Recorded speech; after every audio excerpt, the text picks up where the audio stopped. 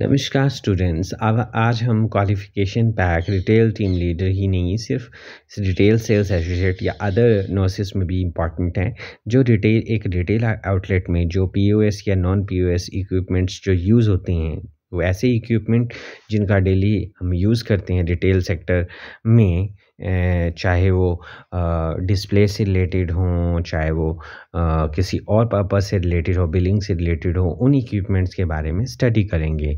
सो अगर आपको मेरी ये वीडियो पसंद आए तो प्लीज़ मेरे channel A K M management classes को लाइक शेयर और सब्सक्राइब करें। सो स्टार्ट करते हैं ये पी और नॉन पी इक्विपमेंट्स क्या होते हैं। मैं आपको जानकारी के लिए बता दूँ पीओएस का मतलब होता है पॉइंट ऑफ़ सेल और नॉन पीओएस का मतलब होता है non point of sales so ऐसे इक्विपमेंट जो पॉइंट ऑफ़ सेल के लिए यूज़ हो जाए सिस्टम है जैसे, है ना वहाँ पे यूज़ किए जाते हैं। और वो वाले इक्विपमेंट जो पॉइंट ऑफ़ सेल के लिए नहीं यूज़ किए जाते हैं तो उन्हीं के बारे में हम डिस्कस करेंगे। तो स्टार्ट करते हैं POS and non P equipments तो अगर आपको मेरी ये वीडियो पसंद आए तो प्लीज़ लाइक शेयर और सब्सक्राइब माई चैनल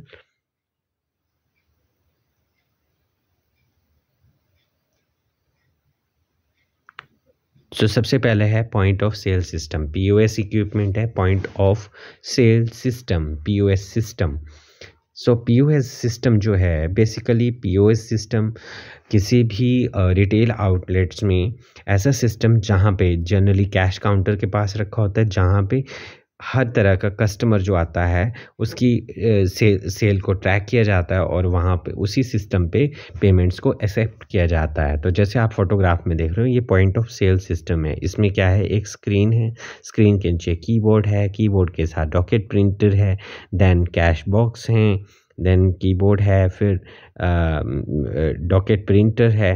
तो इस तरह से ये, जो है पीओएस सिस्टम जहाँ पे आप पैसे देते हैं या पेमेंट्स दी जाती हैं और आपको सामान जो है दे दिया जाता है, वो है POS system point of sale system जैसे कि आप फोटोग्राफ में भी देख रहे हैं।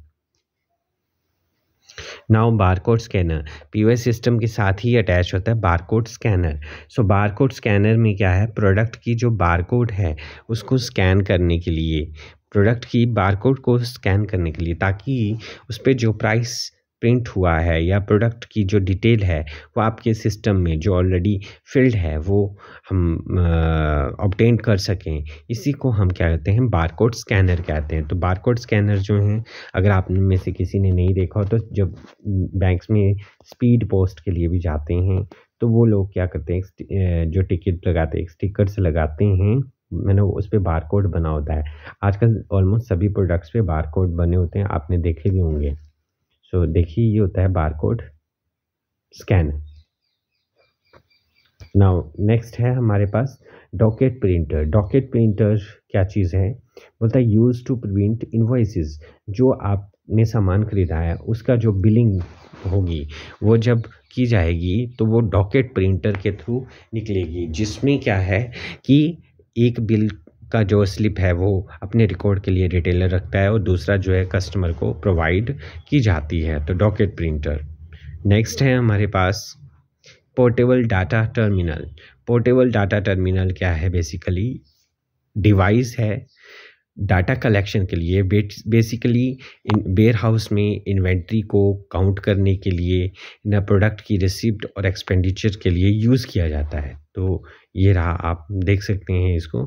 Portable data terminal is a device for prompt product product data collection basically it is use for inventory at warehouse for product receipt और एक्सपेंडिचर के लिए इसको यूज़ किया जाता है।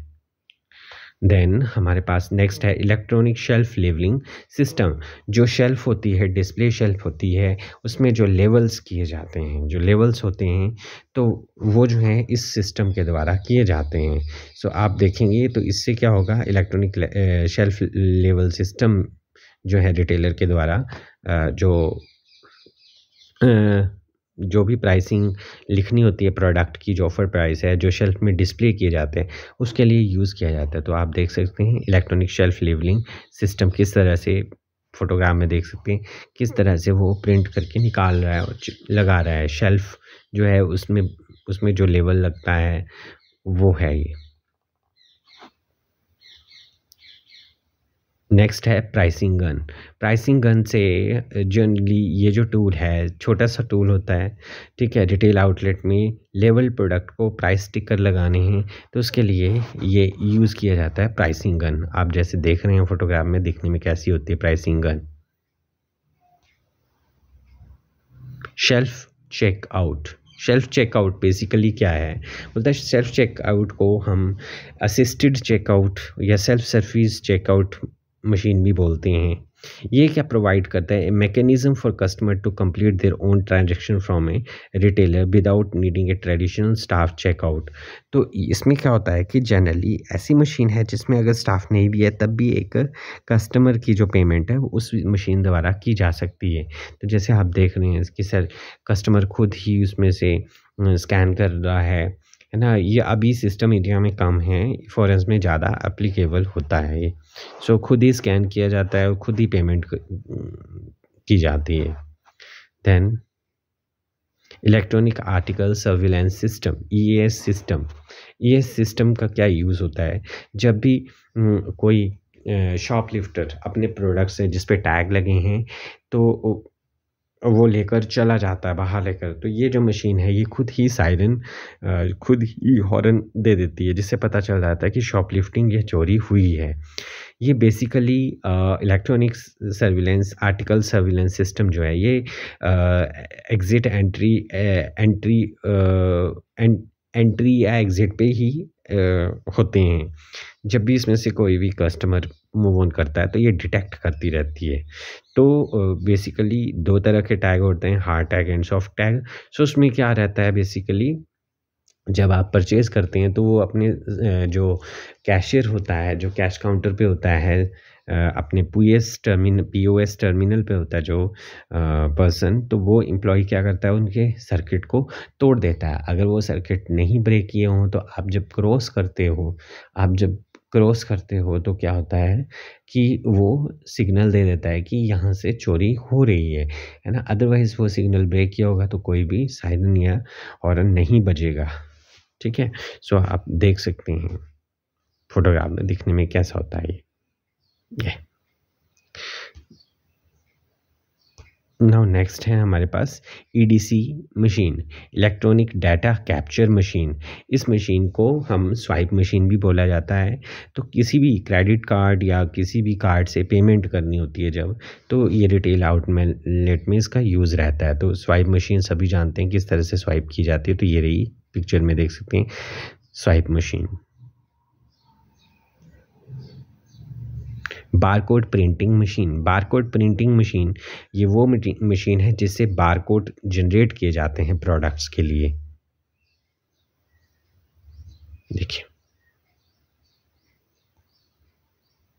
नेक्स्ट है टैग गन। का यूज़ जनरली टैग प्राइसेस और लेवल के लिए यूज़ किया जाता है। तो टैग गन देख सकते हैं आप, किस तरह से रहती है। ठीक है किसी प्रोडक्ट को सील करना है टैग करना है तो उसके लिए यूज़ की जाती है। सो होप आज आपने जो हैं पीओएस और नॉन पीओएस इक्विपमेंट्स देखे, जो जनरली एक रिटेल आउटलेट में यूज़ होते हैं। इसके अलावा बहुत सारे डिस्प्ले इक्विपमेंट्स होते हैं, जो आप मेरी सेपरेट वीडियो में अभी तक देख चुके होंगे। अगर नहीं देखें तो मेरे channel A K M management classes को लाइक शेयर और सब्सक्राइब करें और उस वीडियो को भी देख सकते हैं। Thank you